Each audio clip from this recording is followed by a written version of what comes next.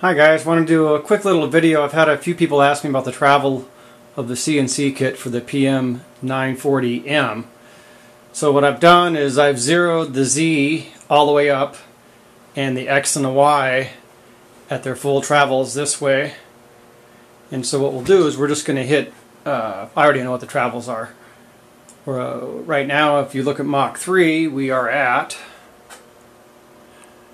28.9 on the X, which is actually you can get 29. And technically, if you put the screw in the other way with the motor on the other side, you could get 30. I actually don't have enough room. I run out of room here in my shop.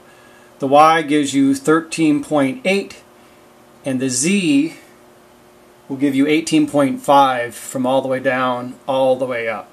So what we're going to do is we're going to uh, just click go to zero.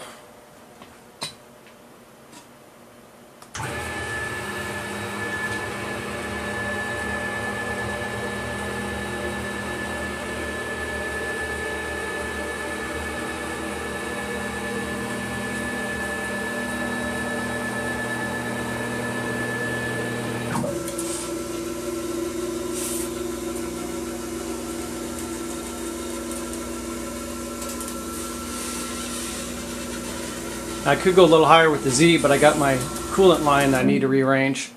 I'm actually got a lot of very uh, things I'm going to change on the uh, 940.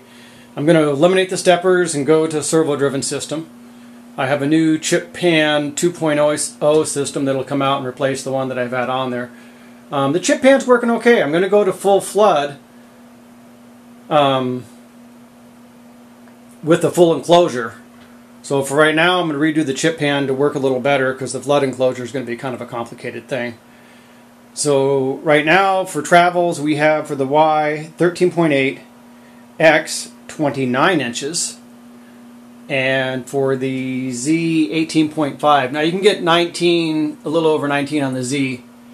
So, and then right now, in this direction, I don't know if you can see, I could go another inch that way if I really wanted to. Um, but I can't because right now it's hitting, it hits my other chip pan over here. So um, I would put the motor on the other side, but it gets in my way of getting into the toolboxes. So for right now, I just wanted to announce the final travels. And uh, that's it for now, guys. Thanks.